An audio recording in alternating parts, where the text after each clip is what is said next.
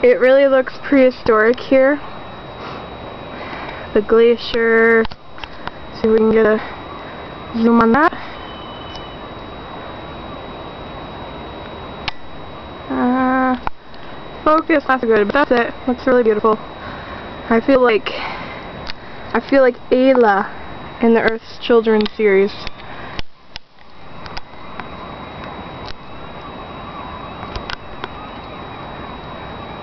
There are ice pieces floating in the lake. There are a bunch of gulls flying down around there. You can hear them. And I'm under this cute little overhang that they put up here. I guess it's a resting point.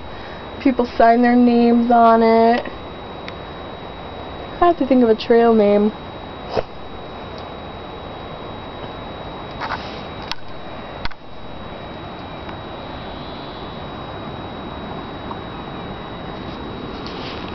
Yay! My hiking boots have been all across the country. Woohoo! So that is West Glacier Trail segment 2. Don't worry, we'll be back for more.